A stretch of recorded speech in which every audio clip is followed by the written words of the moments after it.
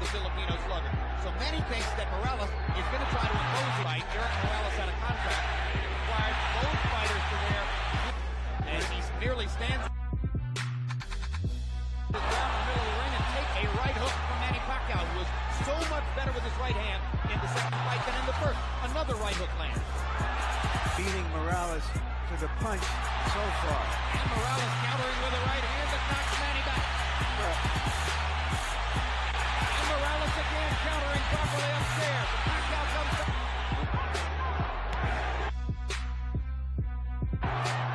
Another body shot, sweeping right hand, partially blocked. Now Pacquiao lands a right and a left.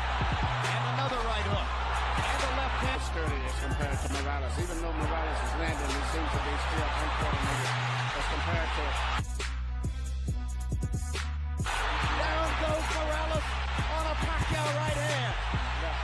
Left. And, and, and Morales thought that he had Pacquiao in uh, Yeah. I He got over he got over it and he doesn't see the punches coming.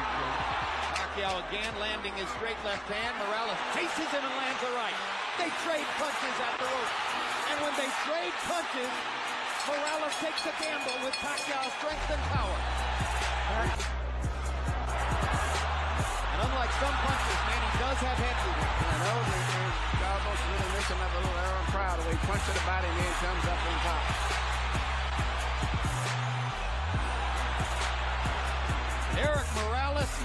Afraid to fight with one of the most dangerous punches in the sport. Some men walk over hot coal. Right hook, a punch that Hard right hand, done Morales. Pacquiao's all over it. Thinks he's got a chance. He's Morales slightly staggered after that last left hand. And down he goes. Solid left hand shot by Pacquiao, who did not like Morales saying that he didn't hurt him with punches in the second fight. Pacquiao was insulted by that. He said, okay, I'll hurt him this time. Oh, what a solid left hand by Pacquiao. It's hard to imagine how Morales can last long against this. Well, until he goes out, he's going to be fighting all the way down. He's not going to back up. What guts by Morales! He straights Pacquiao with right hand, even while on unsteady feet. And he is hurt. 30 seconds to go. Another huge left hand by Pacquiao. Punch after punch after punch. And he wants to finish Morales right here.